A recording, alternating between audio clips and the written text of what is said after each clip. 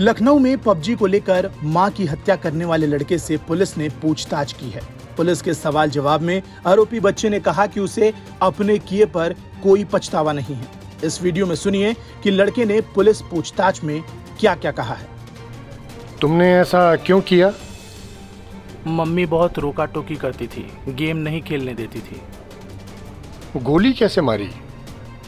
रात में सोते समय जब मम्मी सो गई तब पापा की पिस्टल से गोली मारी। डर नहीं लगा कि पुलिस पकड़ लेगी? नहीं। बहन को क्या बताया? मम्मी के बारे में किसी को बताया तो तुमको भी ऐसे ही मार दूँगा। तुम चुप रहना। कौन सा गेम खेलते थे फ़ोन में? Online game. PUBG fighter Instagram पर रहता था। अच्छा लगता था। मम्मी रोकती थी गुस्सा बहुत आता था। पापा अगर मारते तो उनको भी गोली मार देते। वो तब देखा जाता। क्या करता अभी क्या बताऊँ? तुमको जेल हो जाएगी ये नहीं सोचा था? नहीं इतना नहीं सोचता हूँ। दोस्तों के साथ पार्टी क्यों की? रात में डर गया था और बहुत दिनों से उनके साथ मूवी नहीं देखी थी। वो मुझसे कह रहे थे तब मैंने कहा कि चलो घर चलें। बहन को खाना कहाँ से ला कर देते थे? स्कूटी से बाहर जाता था और खाना लाता था। जो मन था वही खाने को लाता था। घर में खाना बनाया क्या? हाँ बनाया।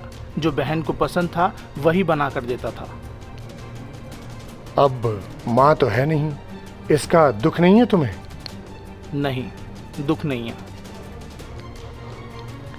घर पर फ़ोन आता था तो क्या बताते थे?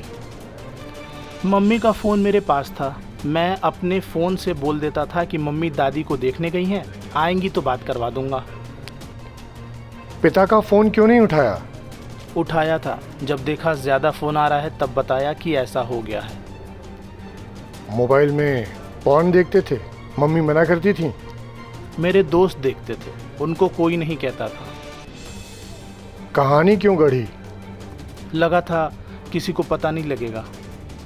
बहरहाल, इस वीडियो पर आपकी क्या प्रतिक्रिया है? हमें कमेंट सेक्शन में ज़रूर बताएँ। साथ ही, देश और दुनिया से जुड़ी तमाम बड़ी खबरों के अपडेट्स के लिए देखते रहिए हमारे यूट्यूब चैनल आज तक।